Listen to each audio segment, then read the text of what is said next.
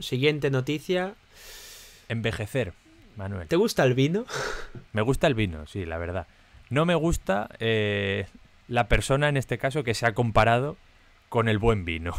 Hablamos, como no, ¿Qué, piloto de la parrilla podría decir que es como el, como el buen vino? Pensarás, hombre, pues un tío veterano, un tío mm, que ya se acerca a los 40, un Hamilton, un Alonso. No, no, no, no, no, no.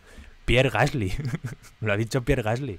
26 añitos eh, y ha dicho que él es como el buen vino, que envejece eh, muy bien con el tiempo, que cada vez es mejor y que que confía un poco en, que, en que su desarrollo no haya parado, que sabe que lo mejor todavía está por venir.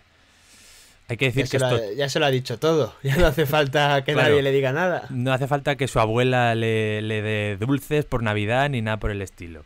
Em, hay que decir que estas declaraciones chocan frontalmente con el rendimiento de Gasly en 2022. O sea, ha sido su peor año en términos de puntos, el peor. Solo hizo menos puntos en 2017, pero porque compitió 5 o 6 carreras, no puntuó ninguna. Em, se le puede achacar obviamente al coche, no, Alfa Tauri ha pegado un bajón considerable, pero, también, su pilotaje. Entonces, que, venga ahora a decir que, bueno, o sea, lo de Gasly es, es, de coña, es de coña mala. Y aparte, que es que incluso ya estando en Alpine sigue con el mismo discursito de que se ha ido porque veía que el asiento de Red Bull no se lo iban a dar sigue pensando que se lo merece este tío. Sí, sí, este es que hasta 2024 y mi objetivo es ser campeón de Fórmula 1. Volvemos a lo de siempre y al meme que nos han dedicado en redes sociales. Es un subnormal y me gusta que lo sea. claro, claro. Me encanta que este tío de verdad se crea que es mejor que Prost, la verdad. Sí, sí. Es maravilloso. Eh, bueno, también he hablado sobre Ocon, sobre la relación con Ocon. Esto es un tema ya muy manido que no vamos a tratar otra vez, pero ha dicho que no es ningún secreto que han tenido altibajos durante su vida. A la prensa le gusta vender esta historia, o sea, le ha echado la culpa un poco a la prensa de, remover la mierda, eh, ya sabemos esta, esta expresión. Y, dice que han limpiado mucho polvo desde que están en, en Fórmula 1 los dos. Que no hay motivo por el cual la relación no vaya a ir bien a partir de 2023. Se matan. uf. Se van a matar. Es que, mira, aquí de vez en cuando clases de periodismo con V9. Ya hemos dado un poco. Vamos avanzando etapas. Ya hemos educado a la gente de bachiller. Ahora ya con universitarios. Vamos avanzando.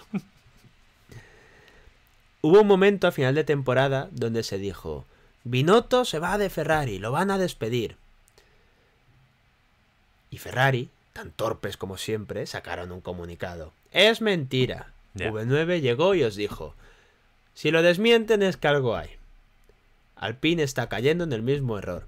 Llevan dos meses dando la tabarra siempre que pueden, con que son amiguísimos, con que no va a pasar nada, con que viven en el país de la piruleta. Si de verdad todo fuera tan bien, no tienes necesidad de dar tanto por culo. Algo pasa ahí.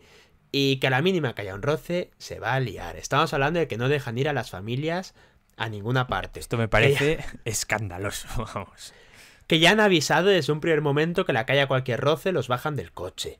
Es que parece que ya se hayan chocado y todavía no ha comenzado la temporada. Jack Duhan tiene que estar frotándose las manos en su casa. Además, Ocon, una cosa que me gusta mucho es que le han preguntado también por el rendimiento, por cómo espera la relación con Gasly. También ha desmentido que pueda haber cualquier problema. Y el sinvergüenza dice, espero que todo se gestione como con Fernando. No te jode. Ah, bueno, pues nada. Entonces, Habrá que preguntarle a Gasly qué opina de eso. Me dejas mucho más tranquilo, Esteban. Sí, y que está encantadísimo con el cambio de dirección y todo, por lo que sea. Es que son declaraciones que yo si fuera Gasly estaría preocupado. Preocupado, pero también con el cuchillo entre los dientes, de decir, sí, sí, dime, dime otra vez eso, Esteban, dímelo otra vez. Bueno, esos van a acabar mal. Y te digo una cosa, si no acaban mal, yo ya dije que es para dejar de ver la Fórmula 1. O sea, si, esta pareja de Alpine no nos trae roces, es para, para no ver las carreras. Vamos con más... Sí, pero mira, pregunta. Venga, mm, pregunta. Casi una apuesta. Porque aquí, como los dos son franceses, está como el pensamiento de que habrá igualdad de condiciones. Yo creo que a priori sí y que por ahí nacerán los problemas. ¿Tú crees que si Alpine tiene que apostar por uno de los dos pilotos y de repente Gasly va un poquito por delante, no te hablo de que lo arrase porque dudo que eso pase, que Alpine, por muy francés que sea, va a apostar por Gasly.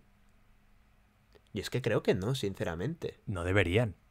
O sea, su apuesta es Ocon, entonces a Gasly, cuando se dé cuenta, se va a coger un berrinche que te cagas. Porque en Se- Alfa se Tauri. debería haber dado cuenta ya también. Ya, pero en Alfa Tauri subirlo no lo han subido en ningún momento a Red Bull desde que lo bajaron, pero era el amo y señor. El equipo funcionaba para él, daba igual que estuviera su nuda, da- daba igual todo, porque se lo merecía. Se lo ganó verdad. también, se lo ganó. Pero que el cambio también va a ser importante. No digo que sea un segundo piloto, pero no es el primero. Y que no hay que olvidar que, que si Gasly está en Alpine es porque es la única opción que le, que le ha quedado. O sea, él tenía que salir de Alfa Tauri, no podía estar otro año más, no quería más, por mucho que lo tuviera firmado, él necesitaba salir de ahí. La única puerta que se le ha abierto eh, es la de Alpine. Es que, claro, eres la segunda, eres la tercera opción de Alpine. Eres el, el octavo plato. O sea, en un banquete tú vas consumiendo platos y cuando ya estás lleno, te plantan a Gasly y dices, pues va, me voy a casa con Gasly, pónmelo en un tupper. O sea, básicamente ha sido eso. Esta es la historia de Alpine. Ojalá nos traigan muchísimas más novedades.